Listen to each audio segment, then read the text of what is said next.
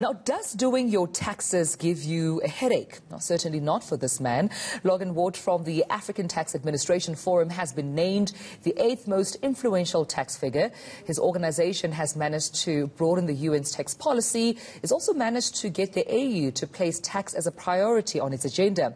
Logan now joins us from Pretoria to discuss some of the challenges of taxation in Africa. So, Mr. Wort, thank you so much for your time and good morning to you. I mean, I have to start this conversation with a congratulations being ranked the eighth world, uh, rather most influential man in tax in the world, but also the second in Africa. Surely this should be a milestone for Africa and tax administration within the continent. Thank you very much. Good morning. Yes, it's very exciting. I think uh, the world of tax has really changed, and uh, there are many things happening around the world in Africa, especially trying to tax the digital the, the, digital economy, you know, the new ways of doing business. And Africa certainly um, is playing its part in making its voice heard. And and this global tax uh, recognition is uh, really uh, for the whole of the continent, and we're very excited uh, uh, for the recognition. Absolutely. Has it been a journey, though, and is it still a journey in ensuring that Africa's tax affairs are in order?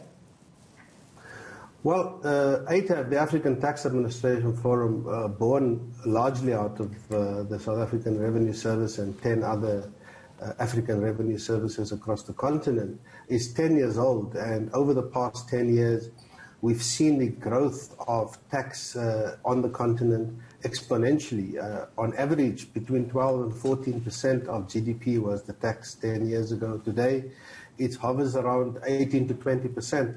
A lot of work uh, uh goes into it. Um, you know, we have had to train uh, more than 150,000 tax officials across the continent in tax and auditing and systems and, and various forms of skills. Some of the biggest challenges we face on the continent is the consequence of international taxation, the plethora of multinational companies that does great business on the continent, but that needs uh, um, policy and political stability in our continent in order to do good business right. on the one hand.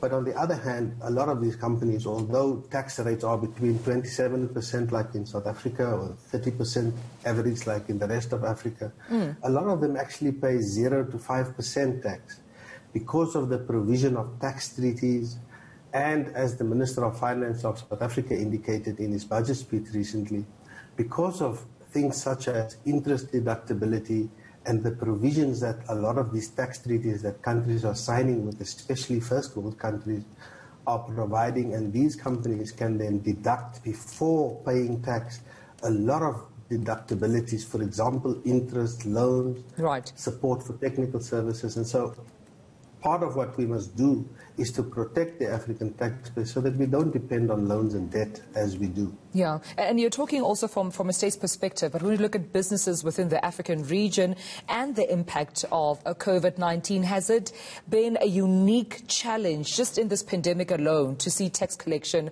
uh, sort of being a success within the continent or even in South Africa for that matter?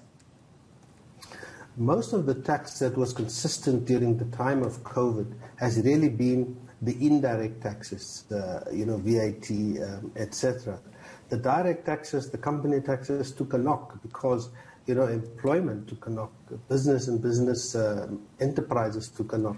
And you find that uh, tax had to play a role to keep the economy afloat. So across the continent, including South Africa, there was more than 127 measures that tax authorities had to take to bring relief uh, to the economy. For example, it had to delay, allow for a delay in payment of taxes. It had to, you know, scrap penalties and fines. Um, it also helped with the distribution of PPEs. It did all sorts of things during the pandemic. And so, yes, revenue did take a knock um, just like every other part of the society. Yeah. But you also feel that uh, revenue and tax administrations are very close to the public because they do pay pay taxes, and so uh, tax authorities played a big role both in the logistics around uh, COVID, but also in, in supporting the type of economic relief that was required, and the whole of the continent right. participated in this in this uh, campaign. All right. Well, we just want to congratulate you again, Mr. Logan Wort, including the African Tax Administration Forum, once again for this milestone. Thank you for your time this morning. Thank you.